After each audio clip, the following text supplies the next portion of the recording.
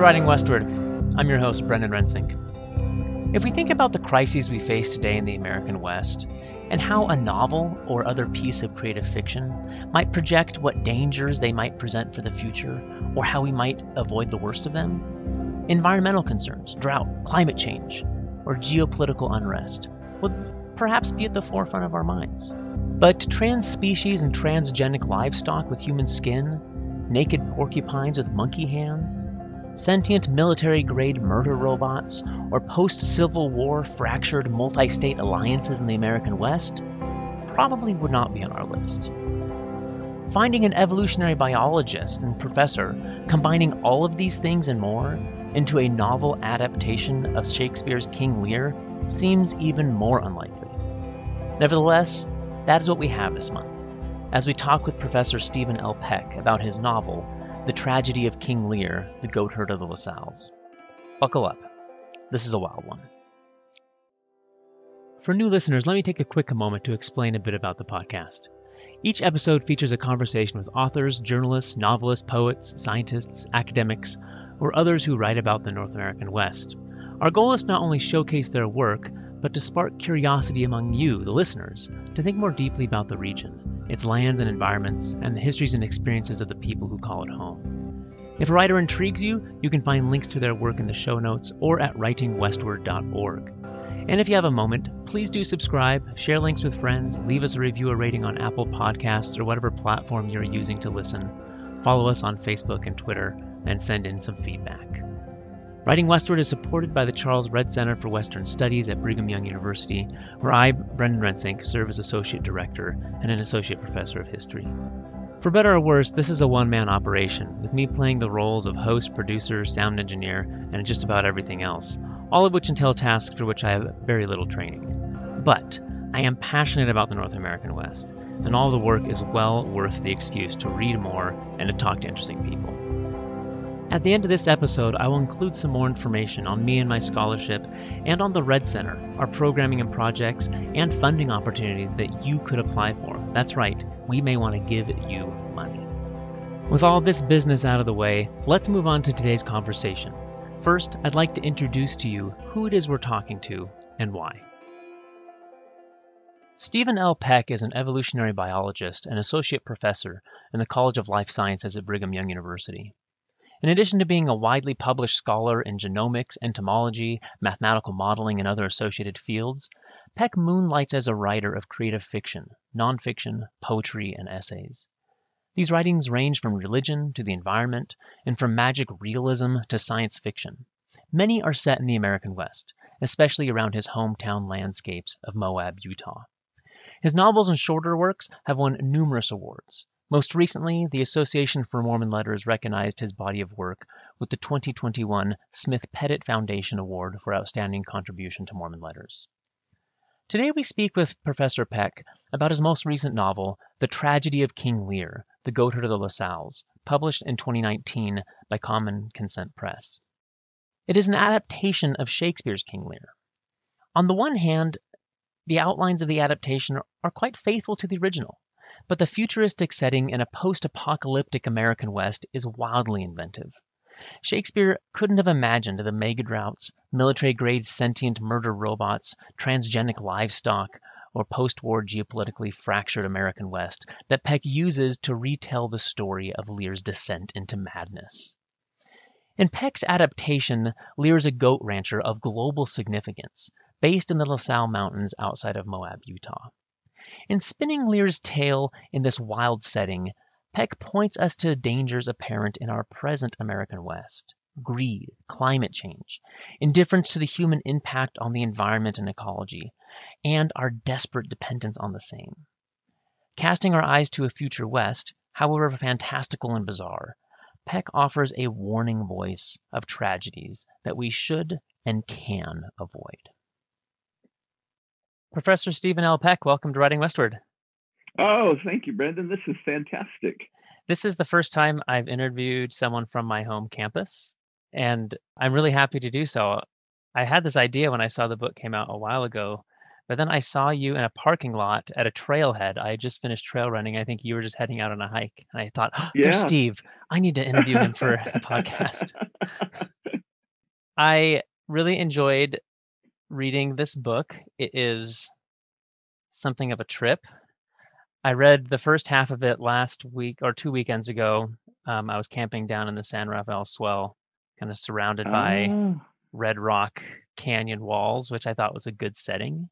yes. Um, as I was reading the first half, and then I finished the book out last weekend as I was in a fevered delirium from my second Moderna shot, which actually turned out to be quite fitting for the second half of this book, kind of like a, a fevered, delirious state. So it worked out perfectly. Oh, good, good. Yeah, I, I, I could recommend that to everybody for their second shot. I want to start by talking a little bit about your background, hmm and we'll get to the specifics of this book eventually. But can you tell us a little bit about your growing up in Moab and perhaps what kind of relationship you had in that childhood and growing up there with these iconic Western landscapes? I mean, within kind of an hour or two of Moab, you have kind of every iconic type of Western landscape and environment you could think of.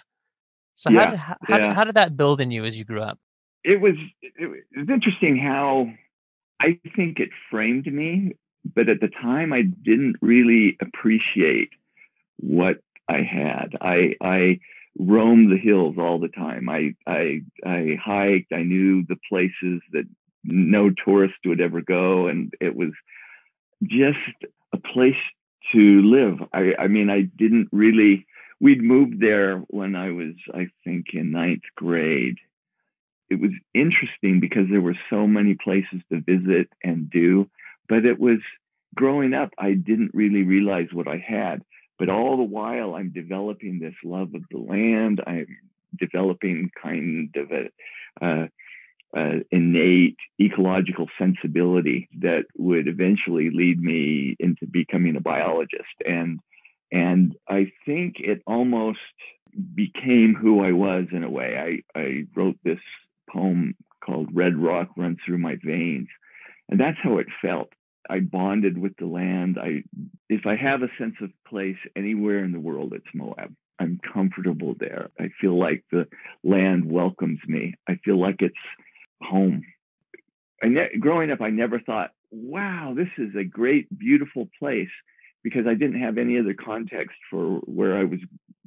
Everywhere I lived, it was just a place, and Moab was just a place. And it wasn't until I left, interestingly, that I read Edward Abbey and began to to say, "Oh wait, this place is unique in the world." And and so, uh, g- growing up there, I feel really lucky because I got to know so many places there. We'd go to the La Sals all the time as a youth on activities. That's where we'd camp. We'd go up and down the Colorado, and I had friends and. Uh, that had rafts, and we'd go run the the river. And uh, uh, of course, we were way more dangerous than we should have been. We didn't. Re- we were all good swimmers, and thought, oh, why would we need a, a life jacket, which kills a lot of people every year? But But you did all these But- things just as a resident. It was just Yeah. where you lived, whereas everyone else comes and does all these exact same activities there, but as a tourist, as an outsider coming Right. in to enjoy the magic of this landscape.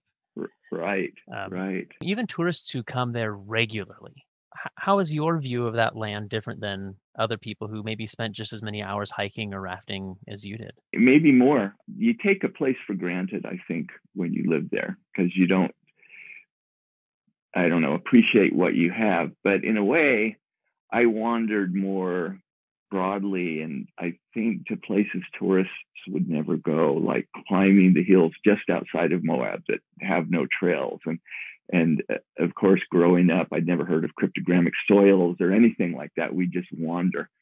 And I can remember I don't know if I should admit this, but I don't remember wearing shoes in the summer and going hiking. And I, I had friends and we just grabbed sleeping bags and we just walk through the desert areas and and camp under the stars and have those great conversations that you always have when you're isolated and alone. And I think I engaged with it in ways that probably aren't available anymore. The way that we Yeah. just wander through through the hills and hike in canyons that were hard to get to and hidden. And I think I may know places tourists don't know about that should be on every map and hiking trail around, but I Yeah, I'm not to well, no, you need to keep those to yourself. I mean, we could Yeah, we could channel a lot of Ed Abbey or Jim Stiles and you know lament yeah, you know the the touristification. That's not a word, but uh, you know yeah. The, the, like the development of, of the area and, and some of that magic that's lost and being able to easily find remote places. But that is interesting. Uh, I grew up in Northwest Washington in a real magical place on the coast with a mountain range in town, enormous green spaces throughout the city and mountain biking trails and hiking trails, you know, five minutes from my house. And I loved it. yeah, And I didn't appreciate it till I left because we just, wa- yeah, we wandered and we just went lots of random places, which had its own magic. But right.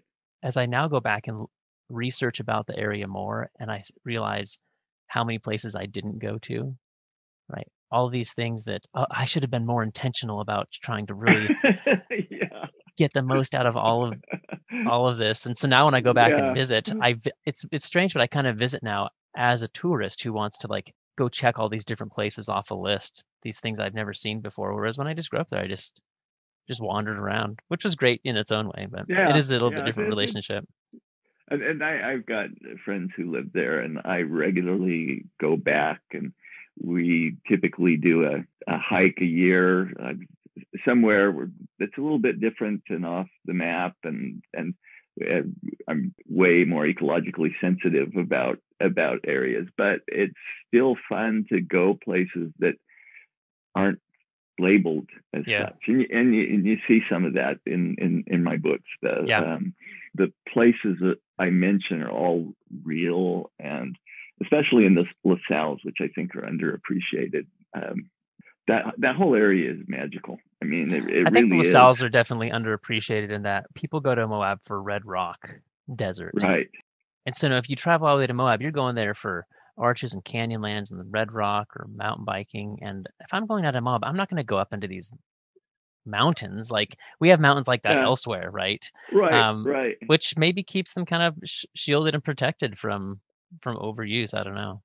Perhaps. the um, the second highest mountain in Utah is in the La Sal Range, Mount Peale, and so it's and it, you're right, it is sensitive. There's lots of crazy things going on there now with the release of the goats and the Yep. and and I, I, I wish more people realized how fragile those laccoliths are and and saw it in terms of just the beauty that's possible to see there. You get some views from the top of the La Sals into the Canyonlands that, uh, that still haunt me. I mean, Yeah. the, the, looking looking down into the Canyonlands from the top of the La Sals is just breathtaking. But yeah, it's from also 1,400 feet.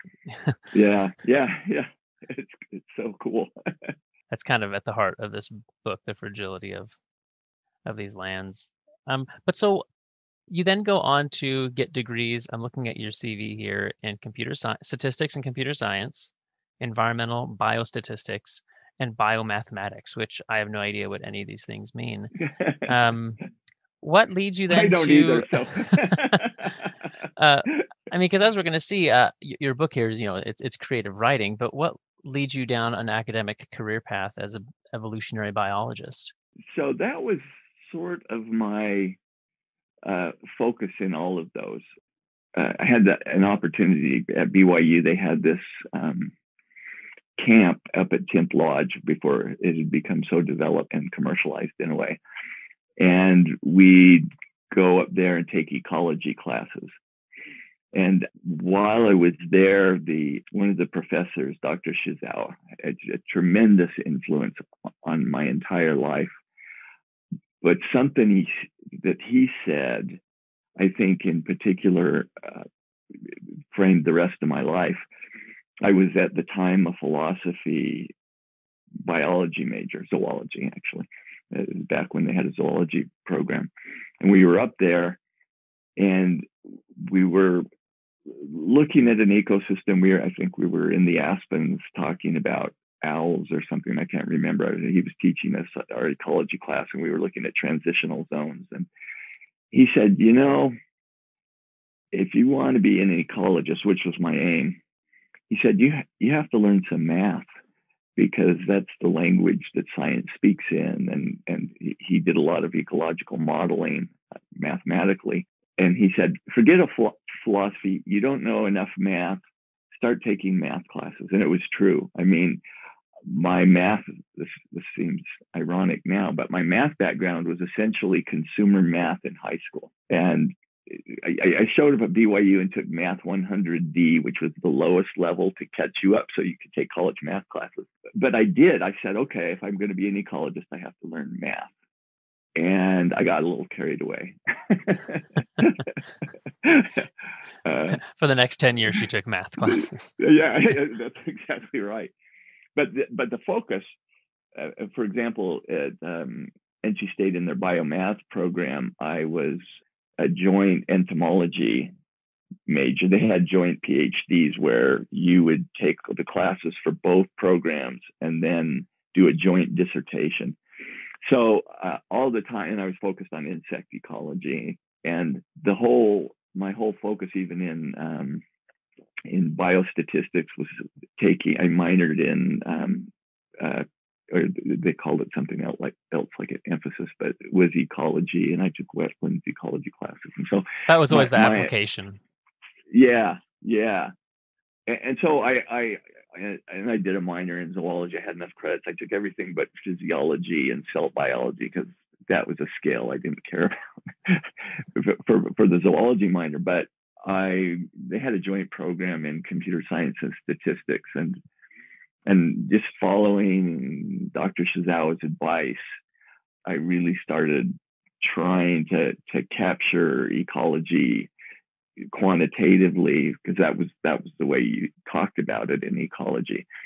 Uh, not neglecting, however, being in ecologies as well and learning the processes and things. And so that's kind of how I ended up in that direction because it sounds I think I I don't know if this is true, but I'm one of the few people in the life sciences who none of my degrees are actually in biology except a half entomology degree from NC State. But, yeah, that's the interesting thing about some of these hard sciences, though, is that you know they are very interdisciplinary, and there's so many different tool sets that you guys use that sometimes your degree isn't a certain thing, but it's because you needed that tool set to apply to all kinds of adjacent fields. So I mean, right. the more I, the more that I get to know you guys in the life sciences colleges here at BYU, the more I realize you're doing a lot of very very different things.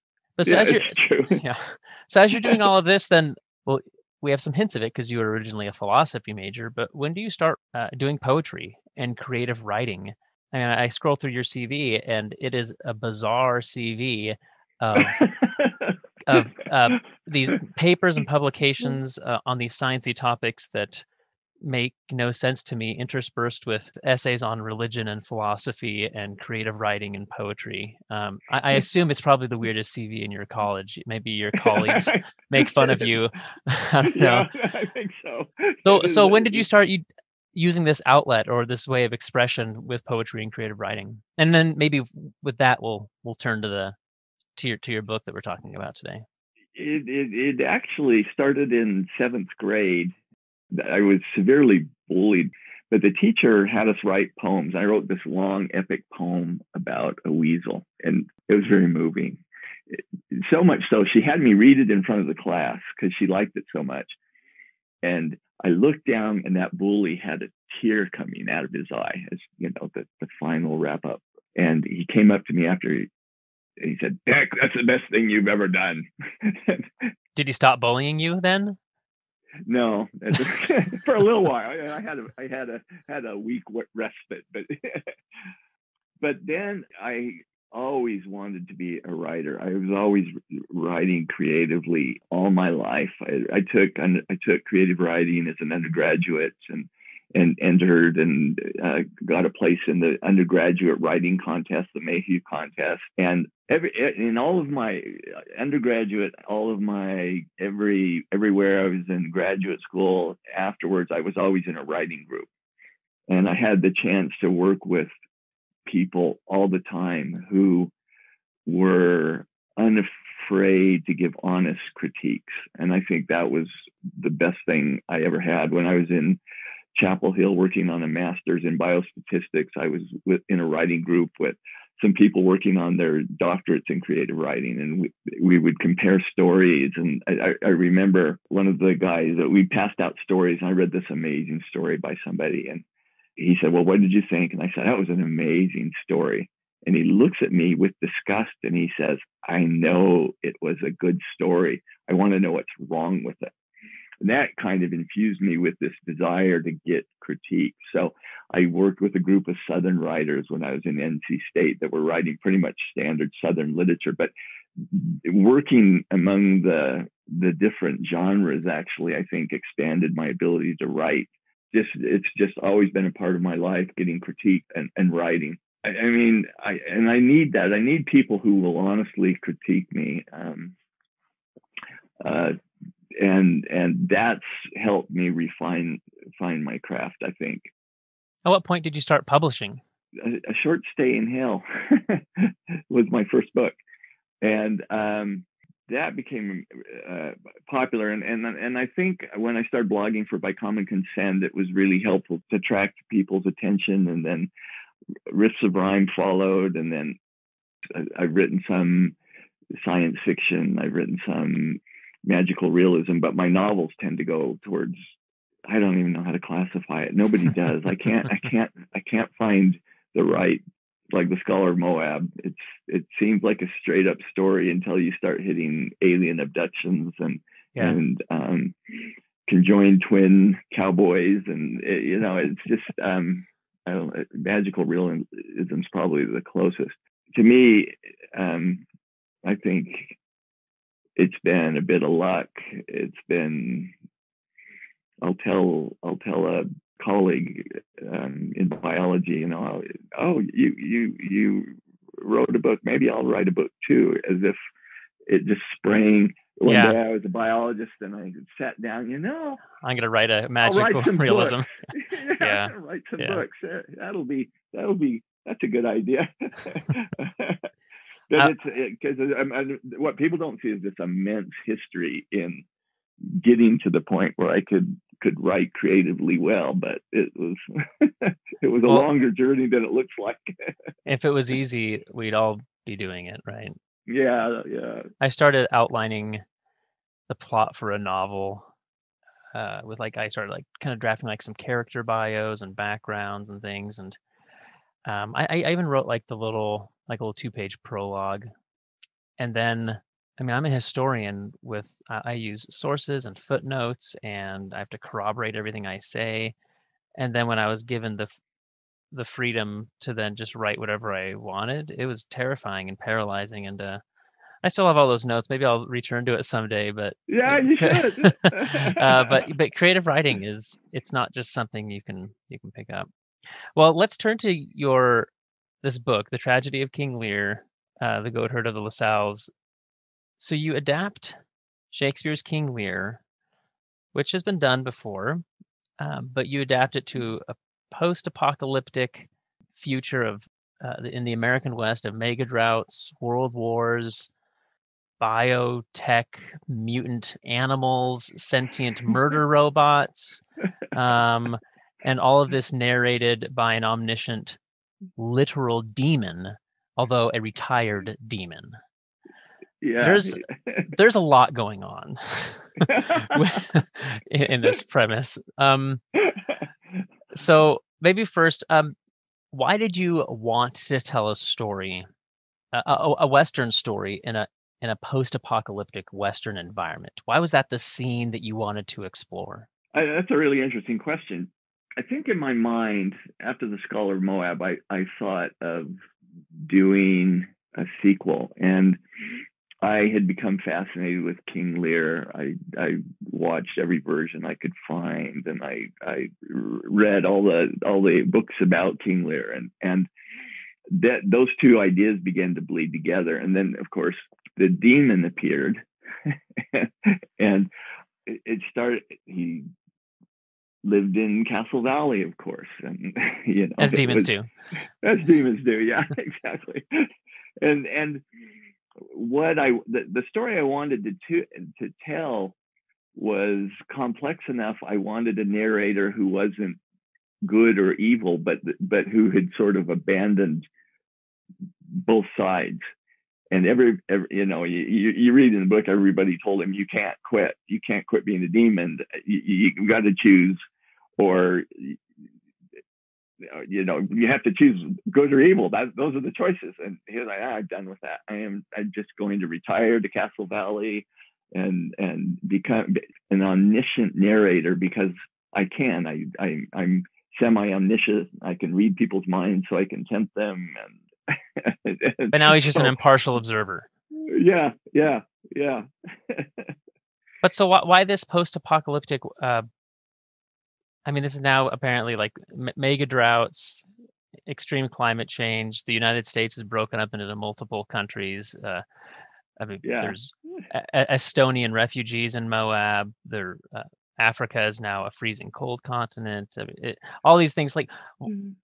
why why that setting of looking at the West's future in such uh, kind of extreme ways?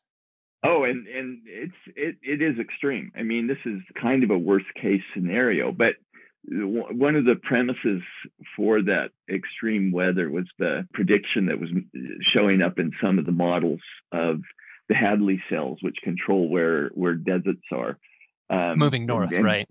Yeah, it was moving north, and I and I I read that and thought, wow, I hope it doesn't ever get to Moab, and all of a sudden, boom, you know, there it is. That's what creates the Sonoran Desert, and if you push that north far enough, and which I this is this is science fictioning, but um, th- that would wipe out the ecosystems that I love and that I care about. And and I, there were there were a lot of there's been a lot of changes that you can see driven by climate change. You you can see the warming, you can see the the effect on aspen groves throughout the West and in the La Sals. You could you can see the the effects that are happening in real time. And this is one of the things I don't think people appreciate who get introduced to climate change sort of with the standard hockey stick stories that look at warming and satellite data and things. And what they don't see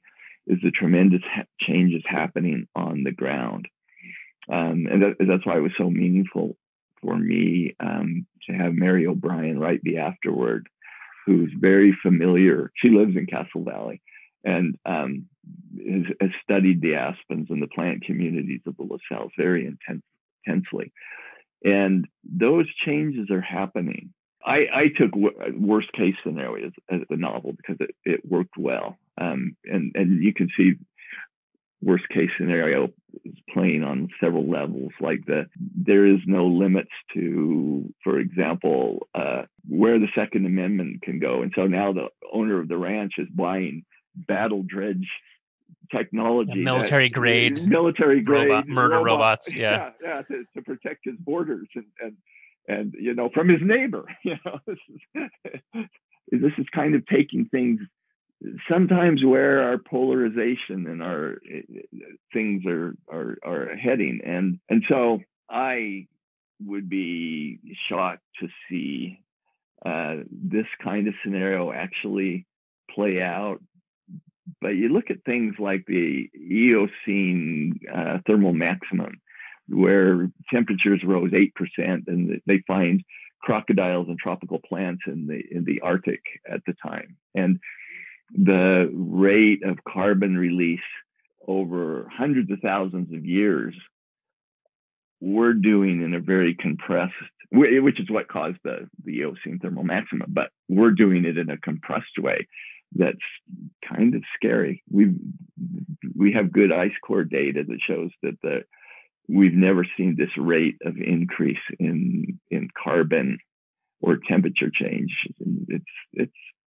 So is this book a reflection of uh, an inner pessimism in you, or just you kind of playing out worst case scenarios, or are, are you pessimistic or are you optimistic about? It depends on the way, day of the week. Like on Tuesdays and Thursdays, I'm really pessimistic, but on Mondays, Wednesdays, and, and Fridays, I'm really hopeful. So you know, I have to portion out my thinking. I'm I'm joking, but are those corresponding with days you do and don't teach? Perhaps? Yeah, yeah, that's right.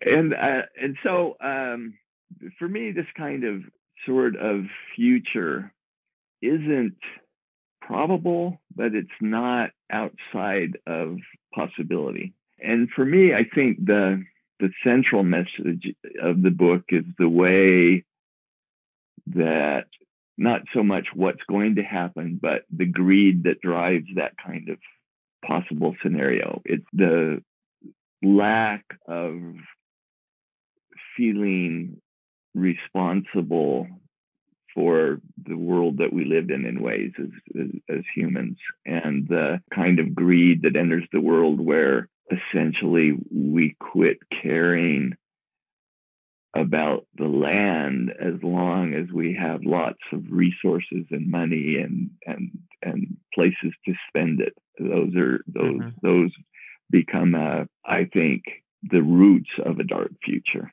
We, we look at your book here and it all seems so absurd and crazy but if you take some current policy and talking points that you know we hear in contemporary discourse and you kind of play them out like well what's the short and long term effect of these? It's it's no less absurd yeah. um yeah. especially in this sense of uh humanity shooting itself in the foot you know you know just like with right. just the other day i was joking with one of my kids um trying to get them to brush their teeth Oh no, no, it was trying to get them to put on sunscreen, mm-hmm. and I was like, "Did you put some sunscreen on?" My my kids are redheads mm. with like the, the fairest, freckly, mm. like sunburnable skin you've ever seen. And I was like, "Did you put some sunscreen?" on? They're like, "Yeah, yeah, yeah." I was like, "No, did you put it on very well?" And they kind of pause, and I was like, "Listen, like, not putting on the sunscreen, it doesn't hurt me. Like, you getting a sunburn doesn't hurt me. You're mm-hmm. only hurting yourself by this behavior. Yeah. And I know you want to run outside and play with your friends and not spend the extra 30 seconds to put sunscreen on your ears or whatever, but you're only hurting yourself. And, and I, I think there's an analogy there in some of our how we view, you know, resource uh, you know the environment and resource use and right. extraction and all kinds of things you know in, in, the end we're only we're only hurting ourselves um you do i did did just remind me though you, whether you're a, a pessimist or not you do end this text on a very optimistic note. You have um, asmodeus he's this omniscient demon narrator and he's viewing this scene of perhaps you know the you know complete annihilation of the human race and maybe robots are they going to be the sentient ones who end up taking over? Or maybe it's you know these genetically modified other organisms um you close out you say um perhaps the actors will cast their eyes up and notice that they have the power to rewrite the script they've been handed and envision a new play something meaningful well, not a tragedy in which everyone of consequence lies dead at the end. Perhaps that is the only hope for this stage on which we are left to act out our dreams or our nightmares. I find that, you know, incredibly optimistic. You're you've laid out this absurd, horrifying future possibility, but I like that you close with, you know, we're not there yet. Yeah. And and we and, yeah. and we, we have a we have the choice to to act out either our dreams or nightmares and um yeah, and I think that's right. I think that's right. I think humanity has such beautiful aspirations and and potential and opportunities, but we we're also capable of of destroying so much and not thinking about who gets harmed. As for example, the the the changes in the world where climate change is most pronounced isn't the people who are causing the most significant outputs. And I think we're starting to feel it with the fires in the West and the droughts and the things that are happening all around us. And I, I don't know. I hope I hope the book just makes people think about what the costs of things are, where greed leads us. I mean, this was said by by Brigham Young that you know if if wealth corrupts, then yeah, we're not we're not we're not going to ever build Zion, and and I worry that, and that's one of the directions of the book is that power and and greed really are the the root of so much darkness in the world. I mean, I think about the way that black and brown bodies are treated to in in things like extraction technologies and in in the ways that economies were built on slavery and we so often don't pay attention to the roots of our the economic costs. I, I remember um, I uh, had a friend in the uh, business school who was really interested in the true cost of things, including the environmental costs. And he, he noticed that in all the economic models, there was a just a big black box that said resources, and then economics took off. And he didn't.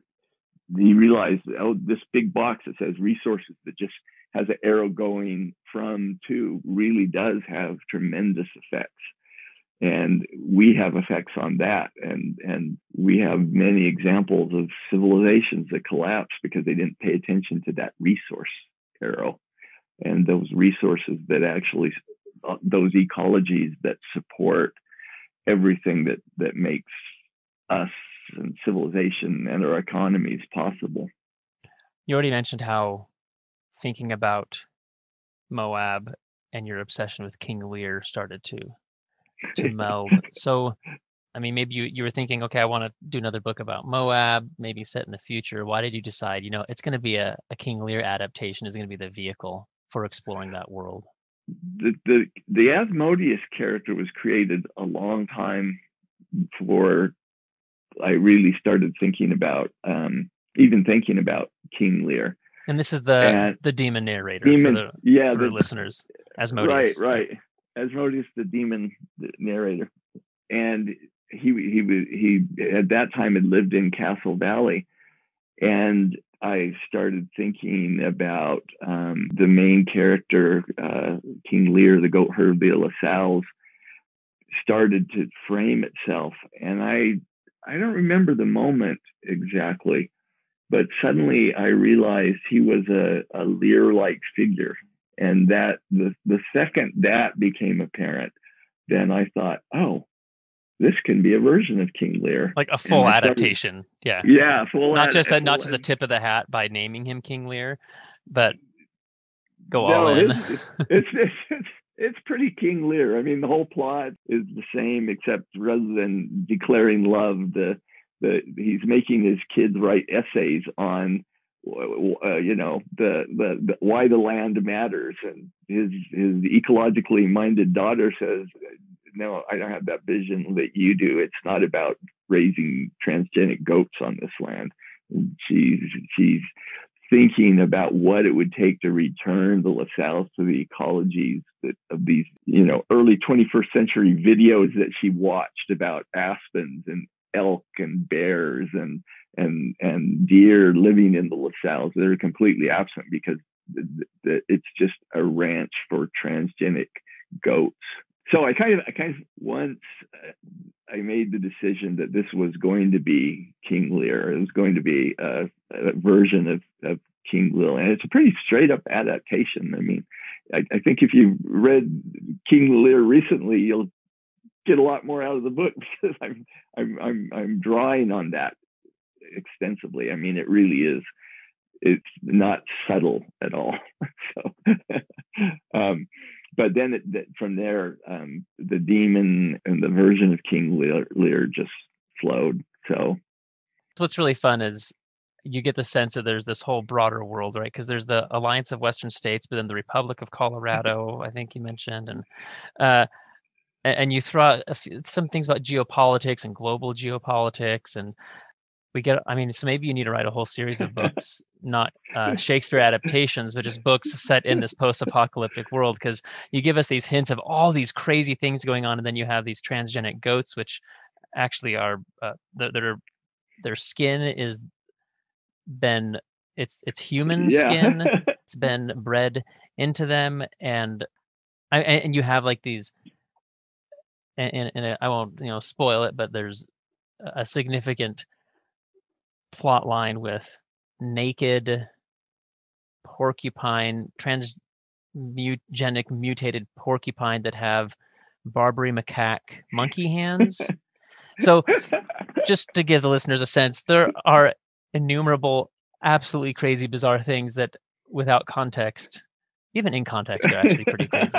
so, I'm curious: are, are, there a couple of these that um, that have like specific inspiration? I'm just curious: is it just from your weird, demented mind that you came up with these crazy things, or did some of these uh, things are they rooted in something where you actually drew from, you know, something you read or saw um, as inspiration for coming up with some of these fantastical things? Yeah, the, um, one of the things hinted at is widespread wars um, that that sort of precede this world, which is kind of stabilized by that time.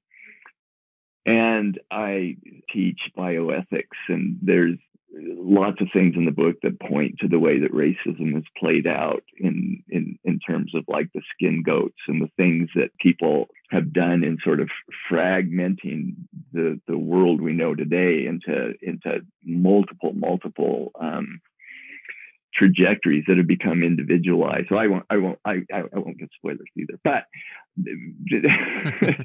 um, uh, I teach uh, bioethics, and we talk about genetic transformation, the way that that it's it's becoming more and more feasible to do anything. I mean, d- designer babies where you could put goat horns on a on a on a child if it became faddish. I mean, the second that that genetic manipulation can enter the world of fashion, it becomes a really kind of scary notion. And so um, a lot of those things just came out of to me and this is I think the horrors of the book the things that are possible um, to do is really limited just by our imagination.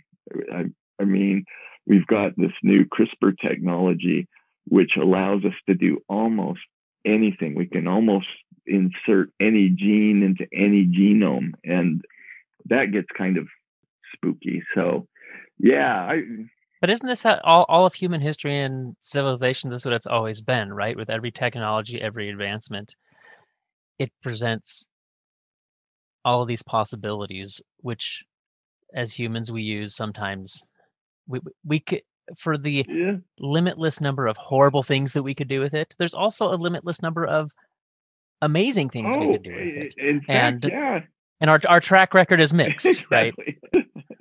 no, that's exactly right, and and a lot of goods coming out of that. I mean, the the the the ability to to um, get rid get rid of many inherited diseases and things like uh, curing diseases like diabetes through genetic manipulation. So there's yeah, it's that's exactly right. There's so much potential good, and Oh, I was just about to give away the the, the uh, transgenic porcupines.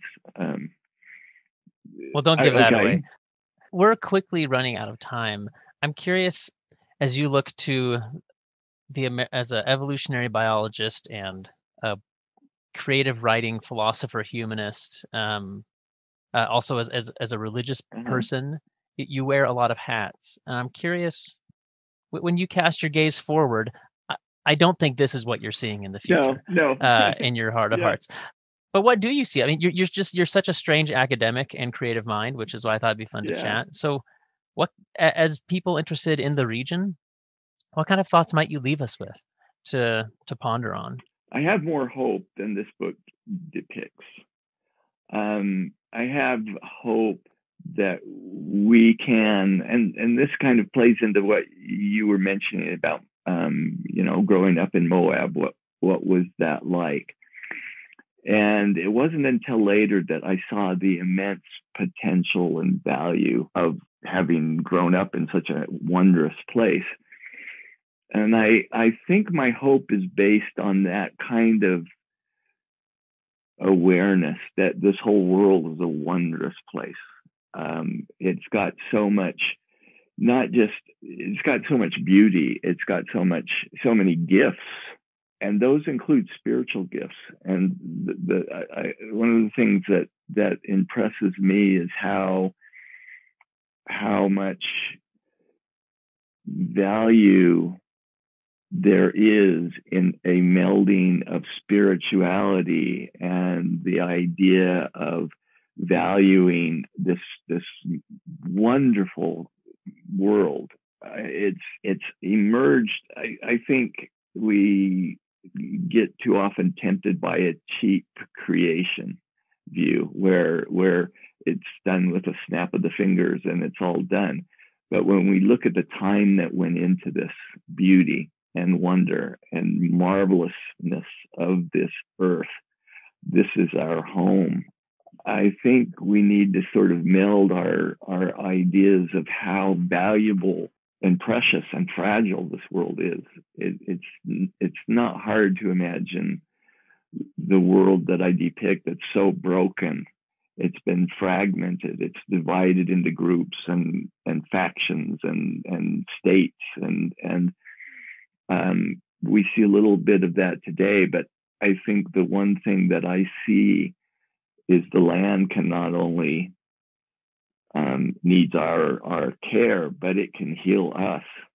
It's got a spiritual potential. It's got a, a healing potential. It be, it it, be, it has a very um, it has a transformative value that I think is underappreciated. And if if if I have any final thoughts, they're along the lines of Asmodeus that that you read. Is that if we can look around and see how valuable and important and necessary it is for us as people, as spiritual people, as religious people, as as people who have the potential to do, as you've mentioned, tremendous good or tremendous evil.